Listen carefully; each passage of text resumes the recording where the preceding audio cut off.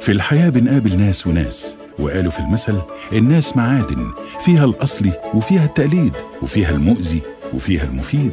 ولأن الحياة من غير ناس ما تنداس؟ هنقابل كل يوم نوع من الناس ناس دهب وناس تانية لها العجب. ناس زي الفل بتحب الخير للكل.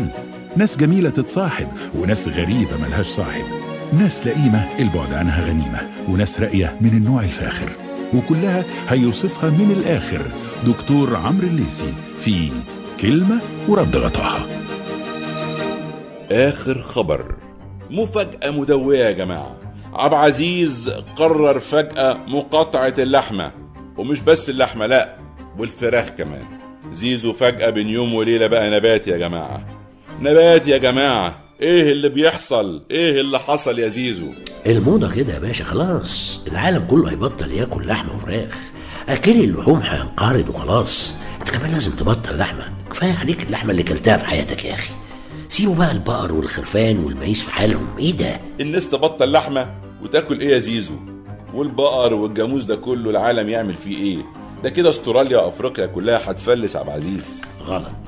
غلط يا عمرو يا أخويا. ما حدش هيفلس ولا حد هيحتاج ياكل لحمة أساسا. وكل البروتين اللي فيها موجود في الخضار. كل خضار يا عمرو. حاولت أقنع عبد العزيز فشلت. فضل مصمم على رأيه وبدأ ينشر دعوته لمقاطعة اللحوم بين زملائنا في الشركة. وبدأ سلوك عبد العزيز معانا يتغير وبقى يرفض ياكل معانا. وكل ما يشوفنا قاعدين ناكل يبص لنا كده شجرا كأننا كائنات من كوكب تاني ويقعد يبرطم بكلام عجيب. أعوذ بالله من أكل اللحوم. مش فاهم الناس دي بتستفيد إيه من كمية اللحمة اللي بتاكلها دي؟ سبحان الله في طبعكم يا أكل اللحوم. متوحشين. آه والله متوحشين وقتلين قتلة كمان. الحقيقة إن بعض كلام عبد العزيز حقيقي لأن الإنسان بعد سن معينة ما بيحتاجش كمية اللحوم اللي بياكلها دي كلها وممكن يعتمد أكتر على الخضروات والفاكهة وكمان تقليل اللحوم مفيد للناس اللي بيعانوا من السكر والضغط والكوليسترول. كل ده كلام جميل بس تقليل اللحوم مش منعها ومقاطعتها تماما يا زيزو. يا أخي تعالى ده إحنا طالبين حواوشي وعليه شوية فلفل. حاجة كده تشرح القلب. حواوشي عظيم مش هتقدر تقاومه يا زيزو. لا لا لا حاضر يا سامر حاضر حاضر أقاوم الحواوشي والشاورما وفتة الكوارع كمان. مسألة مسألة مبدأ خليكم أنتوا في الحواوشي بتاعكم وابقوا قولوا لي هتعملوا إيه في الدهون اللي هتكبس على نفسكم عالم متوحشين صحيح؟ لا لا لا مش للدرجة دي يا زيزو. بلاش مبالغة يا راجل. صحيح الدهون الكتير بتعمل مشاكل صحية لكن المشكلة إنك مزودها الصراحة ومحبكها حبتين. المشكلة الأكبر إن الإخوة النباتيين اللي زيك مش لازم ينكدوا على خلق الله اللي بيحبوا اللحمة يا أخي. خلي اللي بيحبوا الكفتة والكباب في حالهم يا سيدي وإذا كنت عاوز تنصحنا انصحنا. بس بالراحة يا عم بالهداوة يا زيزو بذمتك. ها راس ذمتك أنا عبد العزيز بذمتك. في أحلى من طاجن بامية ها؟ بامية كده في الفرن باللحمة الضاني ها؟ حاجة كده؟ أنا مش عارف أقولها لك إزاي يا عبد العزيز بس في حاجة ألذ من كده. صحة وأنا يا سيدي. بالهنا والشفا عليك ويا اكل اللحوم. بس النبي بقى ما ترجعش بعد كده تقول آه ما ترجعش تقول الحقني يا دكتور ها؟ ولما الدكتور بقى يحذرك ويقول لك بلاش لحمة وفراخ يبقى قابلني ها؟